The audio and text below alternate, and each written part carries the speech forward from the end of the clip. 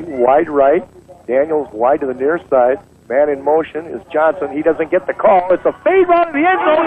A great catch by Jarrett Dickey for the touchdown. Near side. Man in motion is Demario Johnson. And here's Armstrong. Leads it up for Dickey. He's got him completed the 50.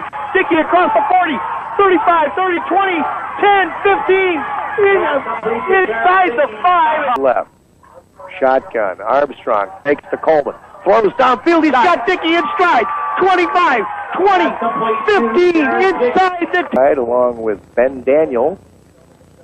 Slot in the slot. Here's Armstrong throwing deep and underthrows the receiver, but a brilliant job of coming back for the pass. It's complete at the 30, across the 25, down to the 20.